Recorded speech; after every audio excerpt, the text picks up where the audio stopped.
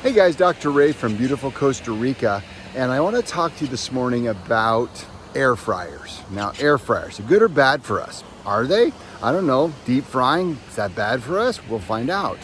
So, here's our hint.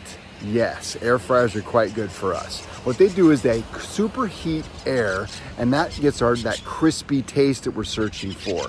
Now, uh, the air convection as it occurs basically tans, if you will, or, or browns the, the nutrient, whatever you're cooking inside of it, and it avoids those deep fried oils. Now, the biggest problem you have with the deep fried oils is actually the uh, um, type of oil that's used.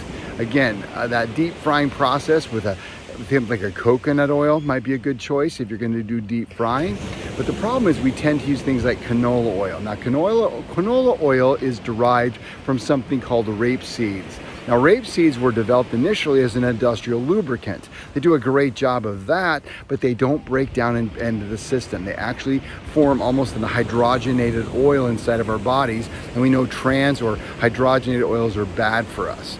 So let's make sure we avoid that. Now, if you're gonna use um, um, the air fryer, make sure you do so. Uh, uh, the, the cost sometimes is prohibitive, but uh, making sure that you use it over, I, I, would recommend using it a couple of times and throwing the food out. It tends to have a chemical taste in the beginning, but once your air fryers get seasoned, it makes it much more effective. So air fryers, in my idea, thumbs up. So good for air fryers. If you're gonna use oil, that's fine too, thumbs up on that, as long as you're not using your trans fatty hydrogenated oils, canola oils, vegetable oils, all those become trans fats as they get high heat. So bottom line, coconut oil, yes, deep frying, and air fryers, absolutely.